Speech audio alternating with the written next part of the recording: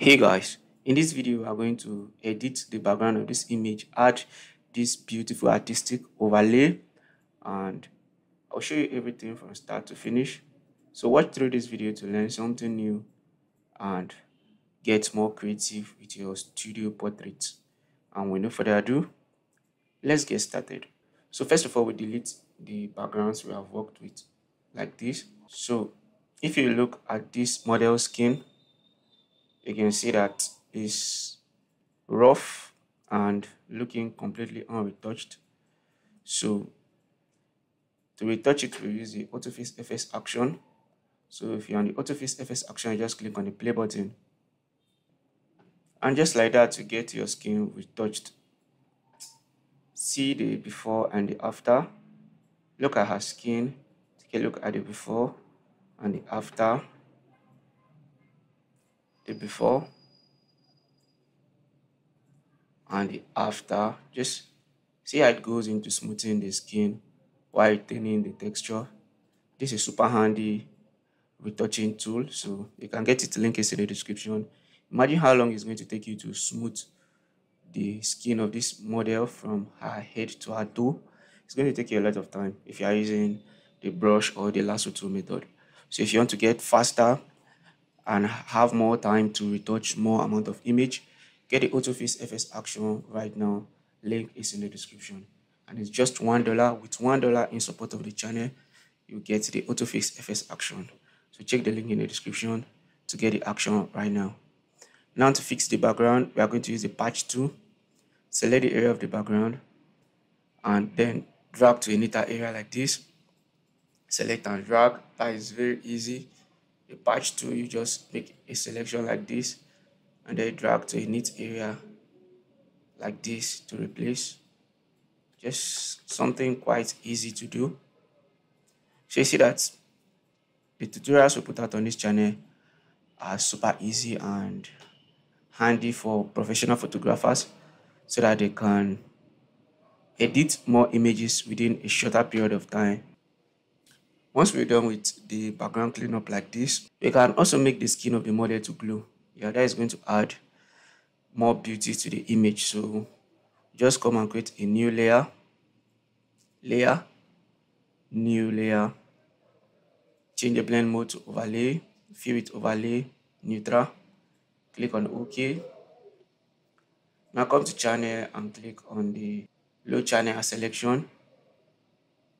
Now come to layer, the layer. Let's name this shine.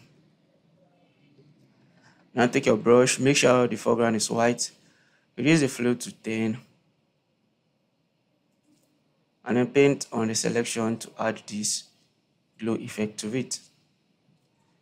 So areas like this are areas you want to shine so just paint on them like this to add this simple glow effect to the model skin so this is a very easy way to make the skin to shine without doing too much. So you are going to deselect before and after, before and after. Even without the selection, you can still add glow to any obvious place that I think needs to shine before and after, before and after. You can reduce the opacity as easy as this. Now we are going to flatten our image so if you right click, click on flatten, the image is going to get flattened. Now we're going to duplicate the background and rename it subject. We'll come to our quick selection tool and click on the select subject. Now subject is going to be selected from the background. You zoom in and look at the selection to see if it's, it's selected correctly. Photoshop has selected this image for us very well. So I'm just going to create a layer mask. So while the subject, you click on the layer mask to separate the subject from the background. Next thing we are going to do, we are going to add the background overlay. So you are going to go to the folder where your background overlay is. I'll be giving out this background for absolutely free. The link will be in the description. So you add the background and then you are going to resize the background to fit. Make sure the model is on the ground floor like this and now you are going to click on ok I'm going to add shadows to the floor so that it looks like the model is actually standing on this background. We are going to change the blend mode to multiply because this blend mode is going to make it look more realistic. So this is normal and this is multiply. So we are going to change the blend mode to multiply. And now we are going to create an empty layer. Take your brush. Now the shadow we are going to add is like this. It's going to go this direction. So we are going to resize the brush to fit that. We are going to reshape the brush. So if you click and drag like this, you can reshape your brush. If you take this arrow and move it, you can change the direction. So this is the direction we want to paint the shadow. So you take your brush, you increase the size using the bracket open and close key, and then you're going to paint. You see now it's painting white because the foreground is white. We are going to undo that painting. I'm going to change our foreground to black. And when we paint again, this is how it's going to add the shadow. So before and after, we are going to add another shadow to the second leg here, but that to take a different direction. So you come and you change the direction of the brush like this. So that when you paint here, this is how the shadow is going to be added. So we are going to reduce the opacity. Now it looks more realistic. It looks like the model is actually standing on the ground floor because she's casting a shadow on the background. The next thing we are going to do, we are going to blur this flowery background.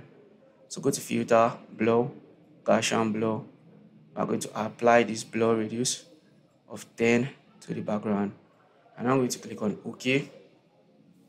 Come to the smart filters layer mask, take your brush. We are going to reshape our brush to be a circular brush, soft round brush. And we are going to take our brush, make sure the foreground is black.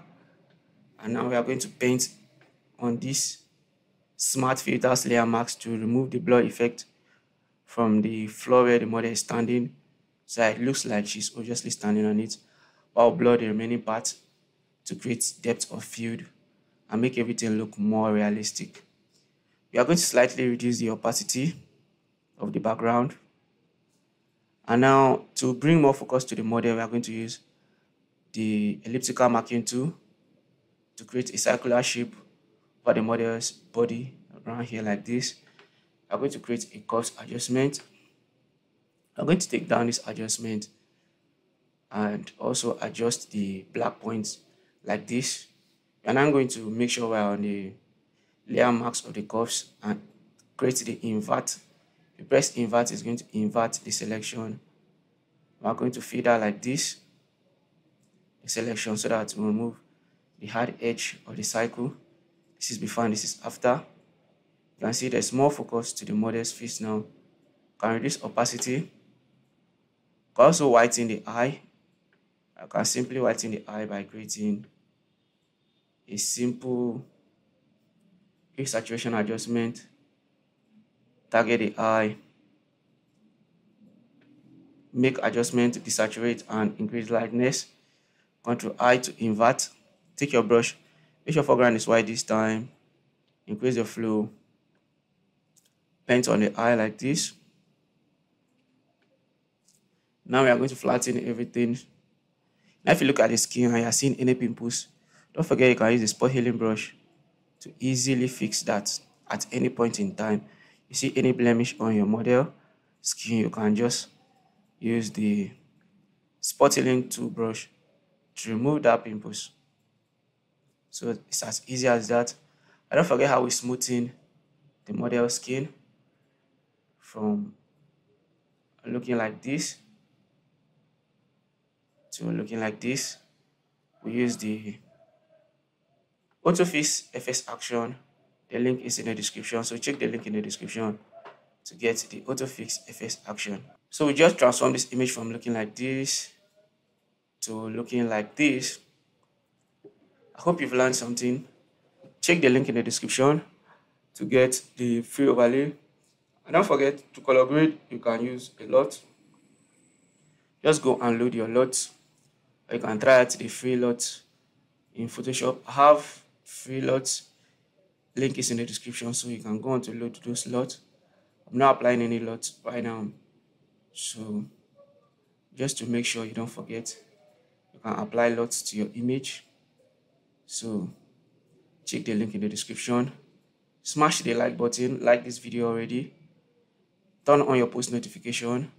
Subscribe to this channel for more helpful tips, tricks, and photography tutorials. Share this video to other platforms. Subscribe to this channel for more helpful tips, tricks, and photography tutorials. Happy to be part of your creative journey. See you in another amazing tutorial.